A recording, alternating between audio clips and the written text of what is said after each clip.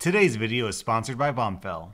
Welcome to r slash I don't work here lady, where an entitled Karen calls the cops and gets herself a ticket.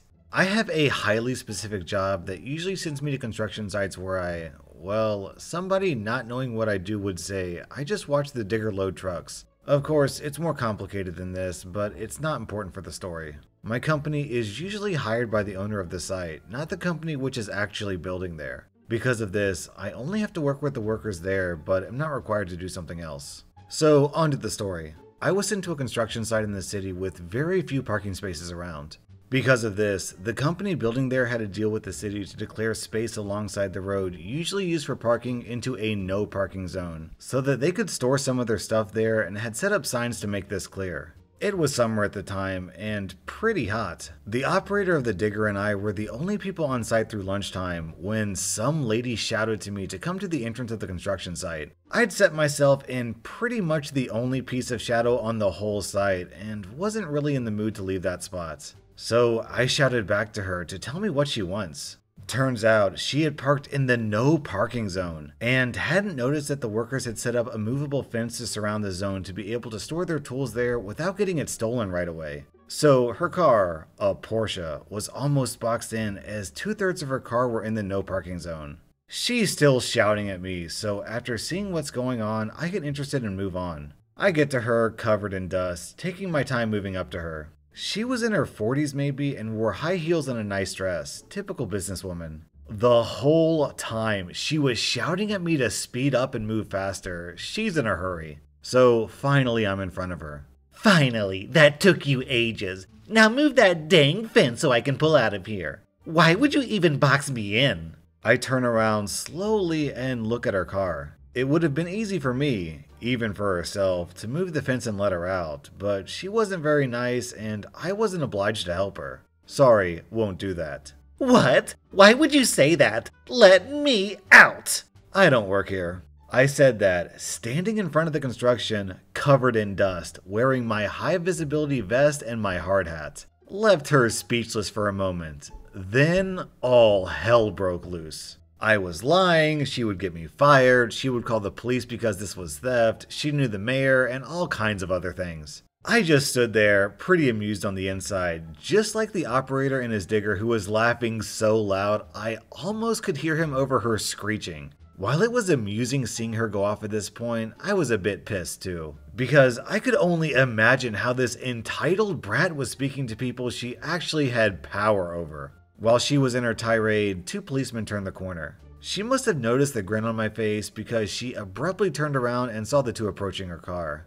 Finally, someone who can help me. Tell this douchebag to move the fence so I can pull out. The two policemen looked at her and then at her car, finally at me. One of them walked to the vehicle and the other approached me. What's going on here? She ordered me to let her out of the no parking zone, but I don't work for this building. I pointed to the big signs where the well known building company advertised itself into my name tag. I wear one on my high visibility vest with my company's name on it. The policeman understood very fast. These no parking zones are pretty common in the city. He walked over to his colleague, who was the target of the woman now, and said a few words to him. He pulled out a small book and began writing a ticket. Only then did it dawn on the lady that she was in trouble.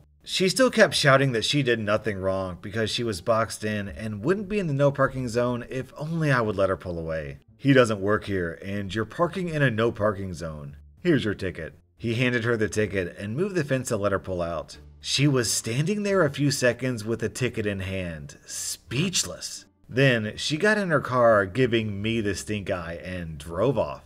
I tipped my hard hat when the two policemen continued their walk and went back to tell the digger operator what happened. Had a good laugh after all. Our next Reddit post is from HGA 2001.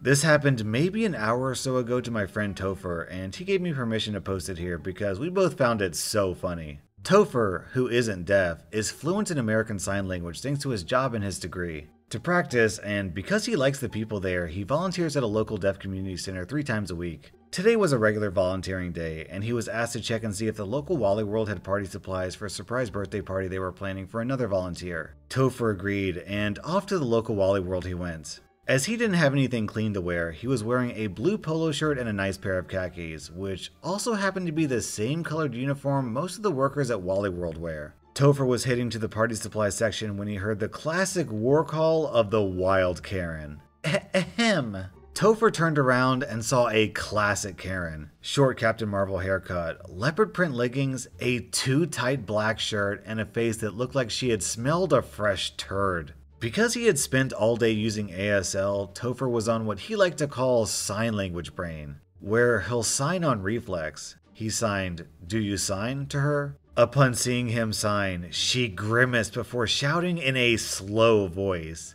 I need help.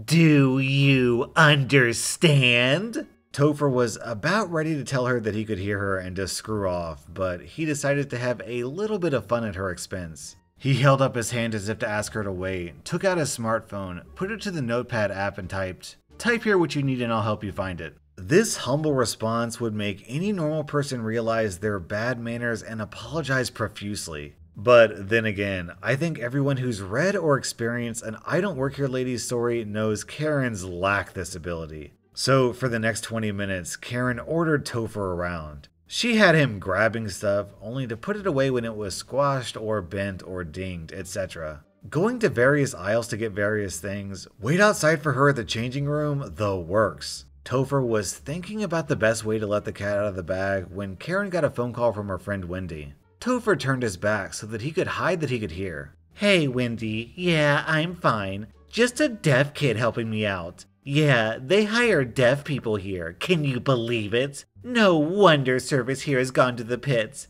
They should stick with their own kind if talking is going to be a problem. Topher was pissed at this point. Because he's worked with the deaf community for so long, he gets really angry whenever he hears them getting treated badly. But calmer senses prevailed, and he prepared his shut up Hannibal speech. Finally, after 20 minutes, Karen announced that she was done and ready to check out. Topher walked her to a register that just opened and turned to her. Please tell your friend Wendy that I said hello. The look on Karen's face when she realized what had happened was priceless. Our next Reddit post is from Spaceman Charisma. Backstory In the winter of 2017, my family went on a huge road trip from where we lived in Northern California all the way to Arizona and Nevada. We spent five days in Arizona and Christmas in a hotel overlooking the Grand Canyon, and then we were off to Nevada, where we were going to spend just a few nights to celebrate my dad's birthday and see a David Copperfield show. We ate dinner at an adjoining restaurant called the Wolfgang Puck, and then my parents left my sister and I, 14 and 16 at the time, to go to their hotel room alone so long as we got them some dessert and were back to our room within the hour. We got Black Forest chocolate cake and some Roman raisin ice cream and headed back upstairs, along with the leftover food from dinner. When we reached the eighth floor, we stepped out and began walking to our room, down the hall and to the right. Just as we turned the corner, a door to our left opened. An irate looking woman stepped out, tapping her foot impatiently and staring expectantly at us. Finally! It shouldn't take you over an hour to deliver some gosh darn cake! Um, what are you. She grabs for the food I'm carrying, the dessert. My sister had the leftovers. Give those here. I'm a paying customer. I won't stand for you mouthing off like that. Hey, what are you doing? That's my food. I jerk back. My sister is already several feet back, looking amused but also worried. Probably about the cake, not me. Listen, I don't want to hear your excuses. Another word out of either of you, and I'll have you reported. What the ever loving flip are you on about? We are effing guests at the hotel, and you better stay the F back. The waiter comes around the corner. In front of him is a huge cart that's literally piled with food. Hello? I heard yelling. Is something wrong? Your stupid employees not only came an hour late with my food, but they're now being argumentative and are refusing to give me the food. Are you in charge around here? Maybe you can talk some sense into them. The waiter turns to me. Young man, is what she's saying. He stops mid sentence, realizing that he's talking to a 5 foot 3 teen whose voice hasn't even cracked yet. Ma'am, I don't know who you think these people are, but they aren't waiters. They have food, yes, but that's from Wolfgang Puck, as you can see from the box logo. And it's not even where you order the food from. She tries to interrupt, but he cuts her off. I know, because I have your food right here. The crazy lady goes pretty red and shuts up right away. After that, the waiter told us to wait a bit further down the hall and finished up giving the lady her dessert. Then he came back to us. He escorted us to our rooms, and for the most part, that was the end of that. We did get some free breakfast cards delivered to our door early the next morning, but we were leaving for a lunch engagement on our drive home, and there wasn't time to use them. Our next Reddit post is from Wanders the Galaxy. So, I work at a rent to own furniture store right down the road from a Walmart. So, come payday, I usually go straight to Walmart after clicking out. Our uniforms are made up of black pants or jeans and various blue shirts. However, our shirts have the company logo embroidered on the top left near the collar. I've been mistaken for an employee a few times, but most people just laugh it off when I tell them I don't work for Walmart. Yesterday, though, this Karen wasn't having it. Last night, I was finishing up some last minute Christmas slash grocery shopping. I hung around in the electronics section for a little while, waiting for an employee to come help me as I've been interested in getting a new phone. But it's the holiday season and they were absolutely swamped. No big deal. I go to push my cart, filled with a few presents and groceries, and I honestly just want to get out of there because the customer traffic is getting to be a little too much for me. Thanks to my crippling social anxiety, I don't do crowds. I'm trying to gently push past this woman, but her and her cart are right in the middle of the aisle, taking up as much space as she possibly could, and I barely ding the corner of it. Excuse you, she says, reeling back and regaining her balance as if I hit her with a brick. Oh, uh, sorry, I mumble. I try to push past her again. I've been waiting here forever. She'd been waiting there maybe a minute. She certainly hadn't been there when I got there just a few minutes before. There's a video game I need you to get for me. In case you don't know, Walmart keeps all their video games in locked glass cabinets, and you need an employee to unlock it for you so they can grab the video game and immediately bring you over to checkout. The same for controllers, consoles, and accessories. I point to the logo on my shirt. I actually don't work here, I work at another company. The Karen sighed and tapped her foot.